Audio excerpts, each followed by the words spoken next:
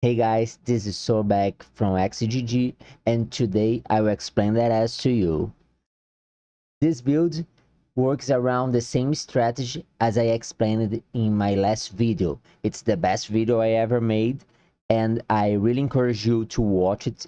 Uh, it's a it's a long one.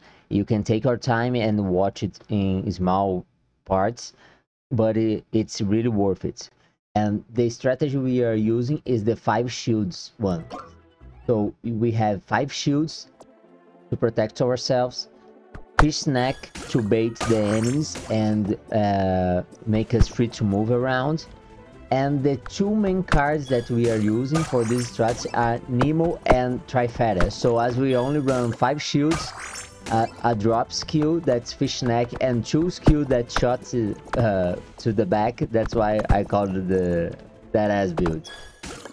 And the the gameplay is explained in the video. Uh, you just use the same skill strategy and try to move around the group of enemies shooting them when it's time to cast the Nemo and the Trifetta.